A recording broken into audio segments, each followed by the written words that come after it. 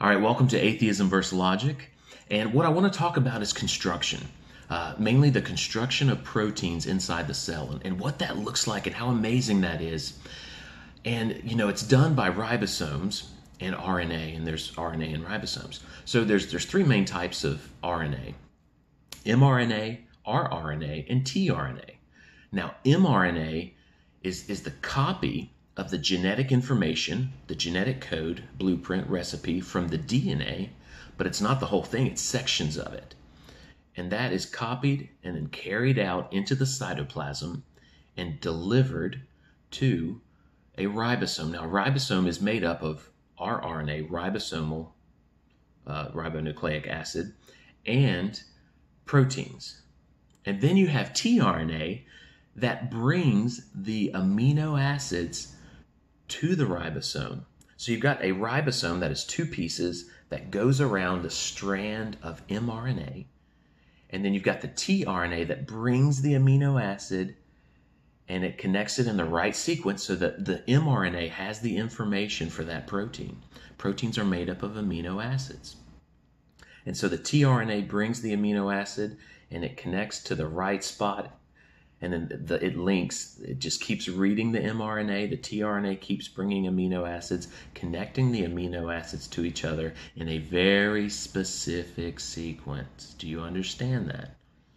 It has to be a very specific sequence to create a very specific protein. And our bodies are made of proteins. A lot you know largely parts of you know our bodies are largely made of proteins. And that decides you know different cells and different cells create different tissue and they combine for different organs. Different organs create different systems and systems come together for a particular organism. So this is construction happening. So imagine you're, you're you've got to build something. You've got the information the blueprint on how to build something. You you tell one person he's your messenger. He's got to take this information and he has to bring it to a factory that is going to produce what you want produced and then you've got another person, the tRNA, who's got to go get the material necessary to build that specific object you want. So think about that. Have you ever managed people? Uh, that's that's very difficult. You know, so many things get lost in translation. You know, the the wrong things are brought, and so this is happening inside of a cell, and this is necessary for life, right? Because if you have DNA, you don't have life the DNA has to be copied. The, the, the information copied that's brought to the ribosome from the mRNA has to be turned into an actual protein. Well, that's not going to happen without amino acids. So something has to bring the amino acids in. The ribosome itself is made of proteins and RNA. And so, man, it's just so amazing. So I'm going to link a video showing you this. Now, it, it kind of oversimplifies it because it only shows a what it calls a protein that's five amino acids long. Well, that doesn't exist. Mean, uh, proteins are very complex and they're made of many amino acids, you know, typically hundreds. I think there's some proteins that are made of, of you know, close to a thousand uh, amino acids. So, so we're talking about a very long specific chain that's going to fold on itself and create a three dimensional protein. So watch that video and then really ask yourself the tough questions. Because I think atheism, no offense, is a joke. It's a sick joke. You look at these things, man, I wish Darwin could have seen these. You know, someone could show these videos to Darwin, go back in time, and he'd be like, oh shoot, that, that couldn't happen by natural processes. And even now, man, man, I challenge scientists, if you're a scientist, or if you know a scientist, and they think this stuff happened by natural processes, well then create it in a lab. Right? See if you can do it. Take all the pieces necessary to life, put it in a you know, do whatever you need to do to, to try to create a living cell. I bet you can't do it. Right. So if it can't happen in a lab and we know how these things function now, or we know so much more about how these things function, you probably, they, they can't do it.